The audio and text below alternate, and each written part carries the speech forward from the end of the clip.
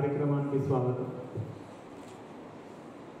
ఈ గృహహింస లేదా మహిళలు లేదా బాలికలు వారికి వ్యతిరేకంగా జరిగే హింస దాని గురించి ప్రపంచవ్యాప్తంగా యునైటెడ్ నేషన్స్ వారు ఇతర దేశాల్లో జరిగిన కొన్ని సంఘటనలను గుర్తుగా నవంబర్ ఇరవై ఐదు రోజు ప్రత్యేకమైన దినంగా జరుపుకోవాలని గుర్తించి ప్రత్యేకమైన దినంగా మనం జరుపుకుంటున్నాం.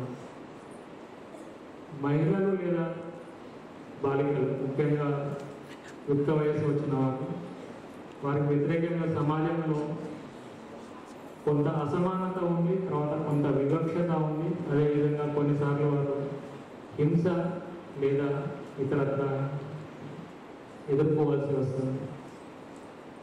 దీనికి కారణాలు ఏమైనా ఇతర దేశాల్లో కారణాలు వేరే కావచ్చు లేదా మన దగ్గర ఉన్న కారణాలు వేరే ఏదైనా కారణాలు ఏదైనా కానీ ఇది ప్రోత్సహించదగింది కాదు తప్పకుండా ఖండించాలి. దీనికి కఠినమైన చట్టాలు ఉన్నాయని చెప్పి మన దగ్గర కూడా చట్టాలను తీసుకురావడం జరిగింది.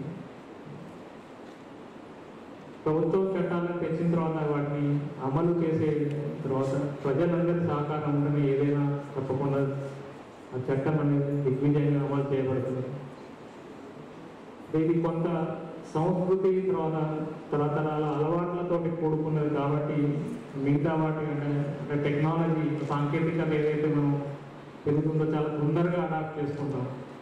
కొద్ది రోజుల్లోనే కొద్ది నెలల్లోనే కొద్ది సంవత్సరాల్లోనే గతంలో లేని టెక్నాలజీ సాంకేతికతను మనం అలవరుచుకుంటాం వాటిని అలవాటు చేసుకుంటాం తర్వాత నేర్చుకుంటాం వాటిని అడాప్ట్ చేసుకుంటాం. కానీ అదే సంస్కృతి గురించి బిహేవియర్ గురించి వచ్చిన ఇష్యూస్ ఏవైతే ఉన్నాయో అది అంత తొందరగా మారదు అంటే ఇది ప్రపంచంలో అన్ని చోట్ల చూస్తున్న విషయమే కానీ దీని సమయం అనేది ఎక్కువ తీసుకుంటుంది. సైకలాజికల్ బ్యారియర్స్ కానివ్వండి లేదా కల్చరల్ ఆస్పెక్ట్స్ వల్ల టైం అనేది చాలా ఎక్కువ తీసుకుంటారు మార్పు రావడం అనేది అంత తొందరగా దాన్ని స్వాగతించదు. మార్పుకు వ్యతిరేకత చాలా ఎక్కువగా ఉంటుంది కాబట్టి ఇష్యూస్ సెన్సిటివ్ అయినా కానీ చెప్పవలసి వస్తుంది ఒక్కొక్కసారి. ఇది అంత తొందరగా మార్పు చెందదు కాబట్టి మనం చట్టాలను తీసుకొని రావాల్సి వస్తుంది. చట్టాలను తీసుకొచ్చిన దాన్ని ఎఫెక్టివ్గా ఇంప్లిమెంట్ చేయడం కోసం మనం అందరం కూడా తప్పకుండా పాటుపడాలి.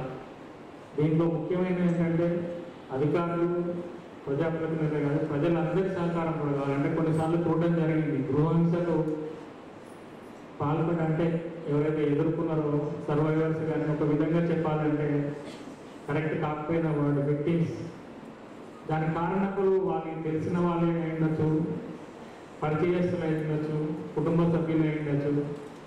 తర్వాత వారికి బంధువులు కూడా అయి ఉండొచ్చు.